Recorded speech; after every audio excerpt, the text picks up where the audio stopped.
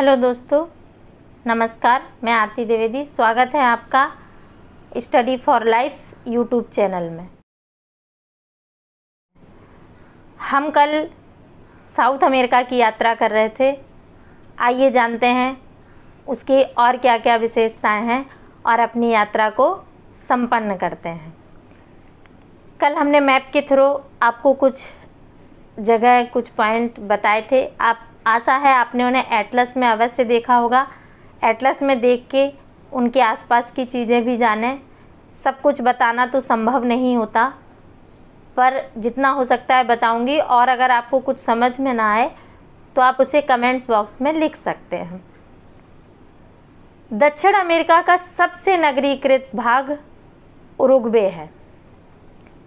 Paraguay दक्षिण America का Switzerland कहलाता है। पराग्वे को दक्षिण अमेरिका का स्विट्जरलैंड कहा जाता है। सेंटोस एक जगह है ब्राज़ील में जिसे कॉफ़ी पत्तन कहा जाता जाता है क्योंकि ब्राज़ील में कॉफ़ी बृहद मात्रा में उगाई जाती है। साओ पालो विश्व की कहवा मंडी कहलाती है। कहवा का मतलब कॉफ़ी होता है, और चूँकि कॉफ़ी यहाँ ज़्यादा होती है, इसलिए यहाँ कॉफ़ी बंदरगाह भी है और कॉफ़ी मंडी भी है। रेसिफ चीनी पत्तन यानी कि रेसिफ जो जगह है वो चीनी पत्तन है।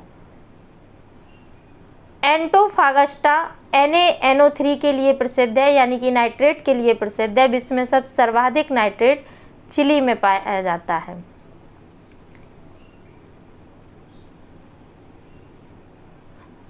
बोलिविया, दक्षिण अमेरिका का सबसे बड़ा स्थल अवरुद्ध देश है। स्थल अवरुद्ध देश कौन से होते हैं जिनके आसपास कोई महासागर नहीं होता है? यानी कि वो चारों तरफ़ से स्थल किसी देश से घिरे होते हैं, उनके चारों तरफ़ स्थल होता है, जल नहीं, जिसमें नदियाँ नहीं जोड़ी जाती।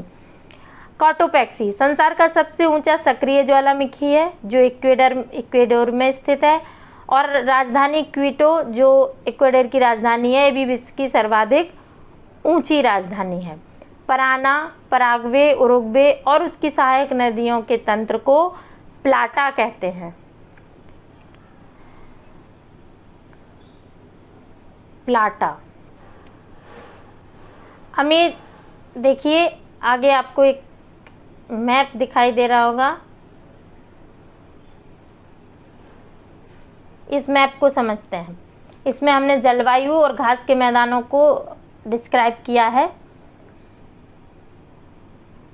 तो ये देखिए, ये जो क्षेत्र है, ये विश्वतीय जलवायु है यहाँ। ये अमेजन की द्रोड़ी है और यहाँ पे उष्ण आर्द्र जलवायु पाई जाती है क्योंकि यहाँ पे विश्वत रेखा यहीं से गुजरती है और विश्वत रेखा गुजरने के कारण यहाँ जो क्षेत्र है, वो कैसा है? आर्द्र है, यहाँ पे बारिश होती है, घने जंगल पाए जाते हैं विश्वत रेखीय वन। और इन्हीं वनों को सेलवास कहते हैं। गालसा नामक, बालसा नामक एक हल्की लकड़ी यहीं पे पाई जाती है जो हमने पहले भी बताया था। इससे जीवन रक्षक नौकाओं का निर्माण किया जाता है। आइए देखते हैं। ये सवाना है। ये घास भूमि प्रदेश है, जो लानोस व कैंपोस के नाम से जाना जाता है। कैंपोस यहाँ है। यहाँ पे कैंपोस है और यहाँ लानोस है। ये दोनों घास के मैदान हैं और दोनों में सवाना जलवायु पाई जाती है। यहाँ पर एरवा नामक एक वनस्पति उगती है जो चाय की तरह होती है, जैसा कि हमने पिछले वीडियो में भी बताया था। ये प्रेरी घास के मैदान है, जो प्लाटा द्रोणी में है। इन्हें पंपास, यहीं पे पंपास घास के मैदान भी हैं अर्जेंटीना में, जहाँ पे अल्फ़ा अल्फ़ा घास उगाई जाती है, जो दुधारू पशुओं के लिए बहुत उपयोगी होती है। आगे देखते हैं, यहाँ पर ऊपर देख रहे हैं, इक्वेडोर के आसपास उष्ण मरुस्थलीय जलवायु है, चिली और उसमें भूमध्य सागरीय जलवायु है, महासागरीय जलवायु है, नीचे ये महासागरीय जलवायु है, ये भूमध्य सागरीय है। यहाँ पे चिली और इक्वाडोर में उष्ण मरुस्थलीय जलवायु है। यहीं पे आपका अटाकामा मरुस्थल है, जो चिली में है और ये चिली और इक्वाडोर में उष्ण मरुस्थलीय जलवायु है। यहाँ आप देख रहे होंगे, ये शीतोष्ण मरुस्थल जलवायु पाई जाती है। यहीं पे आपका पेंटागोनिया का मरुस्थल भी है। कैंडोर संसार का सबसे बड़ा शिकारी पक्षी होता है, जो दक्षिण अमेरिका में ही पाया जाता है। एक रिया पक्षी होता है, जो उड़ नहीं सकता है। एनाकोंडा अमेजन नदी के आसपास के क्षेत्रों में पाया जाता है। मत्स्य उद्योग पेरू तट पे होता है, जो विश्व में सातवां स्थान है। इक्वेडोर का गालपगोस द्वीप ओलिवर रिडले टर्टल, यानी कि विशालकाय कछुओं के प्रजनन के लिए बहुत महत्वपूर्ण स्थल है। इक्वेडोर का गालापागोस द्वीप। अटाकामा मरुस्थल नाइट्रेट के भंडार हैं जैसा कि हमने बताया, चिली का चुक्की चुक्की कमाता माता तांबे के उत्पादन के लिए जाना जाता है। इसे विश्व की तांबे की राजधानी भी कहते हैं। ये तो थे साउथ अमेरिका साउथ अमेरिका से जुड़े हुए कुछ तथ्य। आइए एक क्राउन बुक है, जो फैक्चुअल है पॉइंटेड है। उसके भी हमने पॉइंट लिए हैं। आइए हम उन्हें भी डिस्क्राइब करते हैं। क्राउन बुक के साउथ अमेरिका से रिलेटेड दक्षिणी अमेरिका संसार का चौथा बड़ा महाद्वीप है, जिसका अधिकांश भाग दक्षिणी गोलार्ध में स्थित है। पनामा नहर इसे उत्तरी अमेरिका तथा दक्षिण में ड्रैक पैसेज से अंटार्कटिका महाद्वीप से अलग करता है। इसका सर्वोच्च बिंदु माउंट एकांका गुआ है। निम्नतम बिंदु वाल्डेस प्रायद्वीप है। विश्व की सबसे लंबी तथा हिमालय के बाद दूसरी सबसे ऊँची पर्वतमाला एंडीज है। विश्व का सर्वोच्च सक्रिय ज्वालामुखी कार्टोपैक्सी ये भी एंडीज पर है। विश्व की सर्वाधिक ऊंचाई पर स्थित झील टिटिकाका है, जो पेरू और बोलीविया के सीमा पर है। विश्व की सर्वाधिक ऊंचाई पर स्थित राजधानी लापाज है, जो बोलीविया की राजधानी है। स्थल अवरुद्ध देश दो हैं, एक बोलीविया, दूसरा पराग्वे। शुष्कतम क्षेत्र अरिका है, उत्तरी चिली में, जो सर्वाधिक शुष्क है। सबसे बड़ा नगर रियो डी जेनेरियो है, जो ब्राज़ील में है। विश्व की सर्व विश्व का सर्वोच्च जलप्रपात, यानी कि सबसे ऊँचा जलप्रपात, एंजल जलप्रपात है, जो वेनेजुएला में ओरिनिको नदी पर है। दक्षिण अमेरिका में ईस्टर द्वीप, फॉकलैंड, गालापगोस तथा टेरा डेल फ्योगो द्वीप शामिल हैं। इस महाद्वीप में इस महाद्वीप के उत्तर में कैरिबियन सागर है, उत्तर पूर्व में उत्तरी अटलांटिक महासागर, दक्षिण व दक्षिण पूर्व में दक्षिणी अटलांटिक महासागर है, तथा पश्चिम में प्रशांत महासागर है। दक्षिण अमेरिका का सबसे दक्षिणी सिरा हॉर्न अंतरीप कहलाता है, चिली पेरू, बोलीविया, इक्वेडर व कोलंबिया को एंडियन देश कहा जाता है। किस किस को? चिली, पेरू, बोलीविया, इक्वाडोर व कोलंबिया को। रेड इंडियन दक्षिणी अमेरिका के मूल निवासी थे।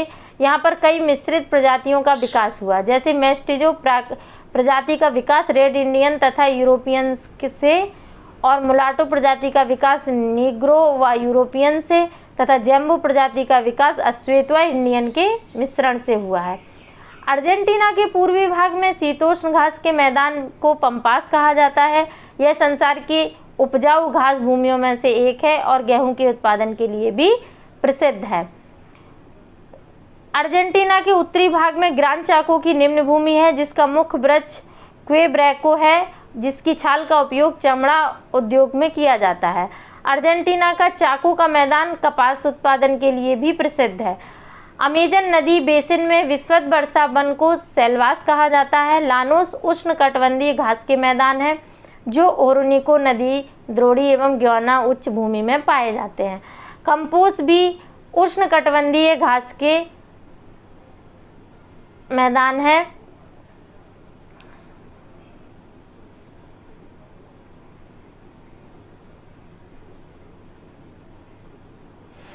बालसा संसार की सबसे हल्की लकड़ी है, जिसका उपयोग नाव बनाने में किया जाता है। अटाकामा एवं पेंटोगोनिया दो प्रमुख मरुस्थल हैं साउथ अमेरिका के। अपवाह की दृष्टि से अमेजन नदी संसार की सबसे बड़ी नदी है। पराना पराना परगवे उरुग्वे उनकी सहायक नदियों के तंत्र को प्लाटा कहते हैं, जैसा कि हमने पहले भी बताया ऊपर। ब्राज़ील, कोलंबिया और इक्वाडोर, संसार में कहवा के सबसे बड़े उत्पादक राष्ट्र हैं। यहाँ की लाल मिट्टी, टेरा रोसा कहवा की खेती के लिए सर्वोत्तम है, टेरा रोसा। ब्राज़ील कहवे का सबसे बड़ा उत्पादक राष्ट्र है और इसे कहवे का घर कहा जाता है।